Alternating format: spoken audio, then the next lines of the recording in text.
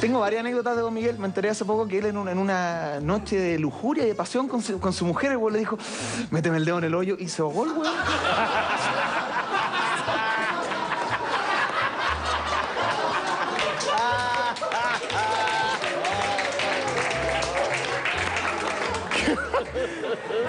En serio, bueno, venía, bueno, cada uno fuma lo que quiere, vengo de...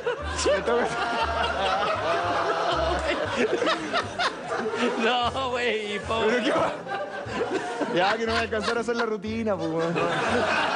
Puta el juego. No.